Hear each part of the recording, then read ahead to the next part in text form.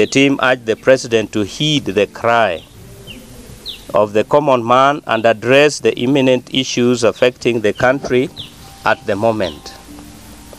The team has condemned the brutal killing of innocent Kenyans by the government. They wonder why the police are using more force on people who are not armed. The police must observe the law and adhere to, the, to it.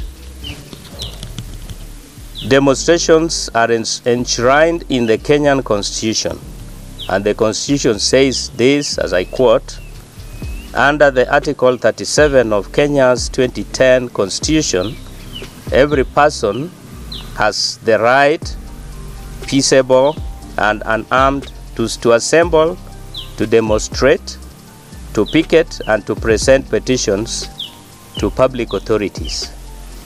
This must be done in peace, and the police are supposed to guide the demonstrators uh, together with those who are picketing. The police therefore must stop using live bullets on innocent Kenyans, but offer protection to those who are demonstrating. A case in point is yesterday's demonstrations where police were the ones attacking the citizens. In addition, the team is appealing to the leadership of this country led by the President uh, William Samoei Ruto to consider a genuine and a constructive dialogue to foster unity in, uh, in our country. The President should be a sign of national unity and the team we, we urge the President to stand out and bring the country together. The main problem affecting our country today is being driven by our elected leaders. We are saddened to note that eight months after elections, the spirit of politics is still at the peak.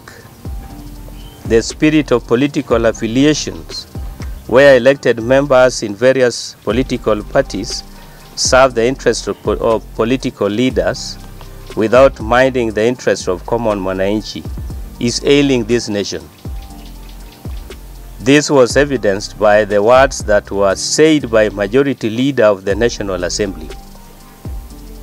And I quote, hii bill lazima ipite. We kindly appeal to our president and all political leaders to grow above the political parties and serve the interests of Kenyans. We as the church in Yenga Dinari also urge the concerned bodies to help us stem the issues of hate speech among our leaders and Kenyans, uh, Kenyan citizens at large. Amos chapter number 3 verse 3 says, How can two walk together unless they agree? The other issue that is affecting us is that we are appealing to the government to address the pressing issues affecting the country, such as inflation, the high inflation that is evident now, high cost of living, high cost of taxation, and political instability. And this is brought about by the newly uh, signed bill, Financial Bill 2023, which the court has suspended. But the government continues to implement it amidst the court uh, suspension. The former Prime Minister can address these issues other than uh, sensitizing the community. And just as they say that uh, the current president was a student, a political student, is there any way they can meet and talk? Of course, we know that the president has had some hard, hard stance, uh, saying that he is the elected leader and he doesn't have time to sit. But uh, if, if the former prime minister has a chance, can he make a move to sit with the, the, the current president? Is there any way he can do that? We are also urging him to refrain because the people suffering are just the common people. The common man is suffering. So we would urge him to seek peace rather than uh, seek uh, solace in demonstrations that will cause disharmony in the community, in the society. Fred Olwendo, Vicar Lakesi K Paris, a parish within uh, Yenga Dinari. I just want to talk about the general feeling of the common man. Uh, in Kenya today, life is very unbearable, and uh, we just appeal to the president and the leadership of the country to take heed, to hear the calls of Kenyans who are really suffering, so that they can sit down with all stakeholders and see how the cost of living can be reduced. During uh, the campaigns, the president pledged to reduce the cost of basic commodities like fuel, electricity, and many, many other things. But immediately he was sworn in, we are seeing the basic commodities prices are increasing day after day. The president should come out and do something because Kenyans are suffering, and this is the concern of the church. Thank you. We would just advise uh, the opposition or the Azimio uh, team to look into alternate, alternatives or how they can uh, engage the government or the people concerned so that there can be peace in the country. Because as things stand, most things are coming to a halt. Businesses cannot now operate well. Uh, transport sector is being paralyzed during demonstrations. So we just appeal that they look at other avenues of how they can engage the government so that the country can continue. Kwa majina ni Monica David. Kristo ni mwokozi wa maisha yangu.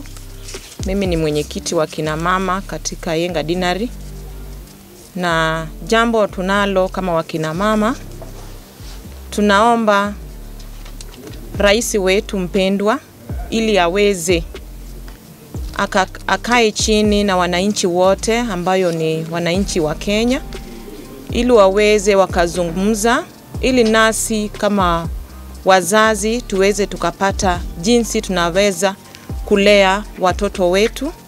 Na wakati kama huu tunaona jinsi maisha imekuwa ngumu katika nchi yetu, maafa imekuwa mingi katika nchi yetu ya Kenya, watu wanauawa wasipokuwa na hatia.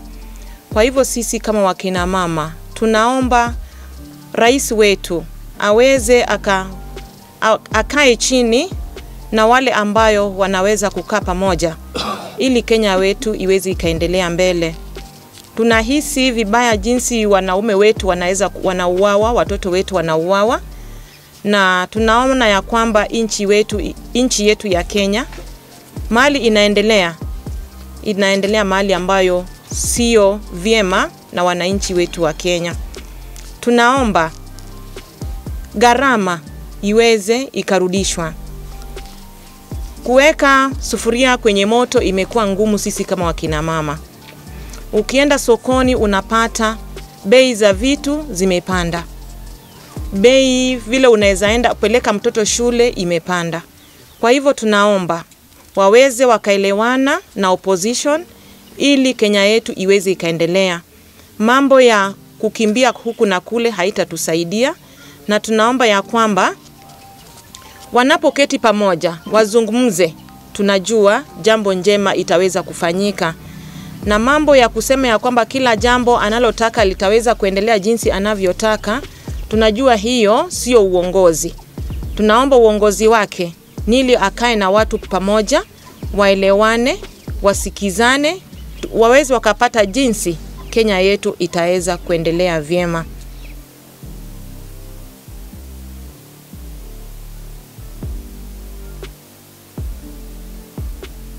Kwango, will introduce yourself hapo kubedo ready.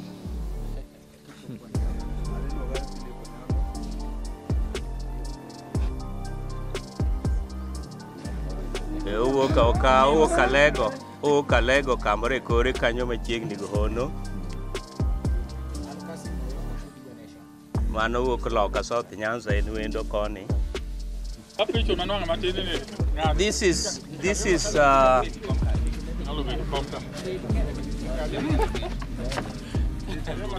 yie natapro akete gi dholuo.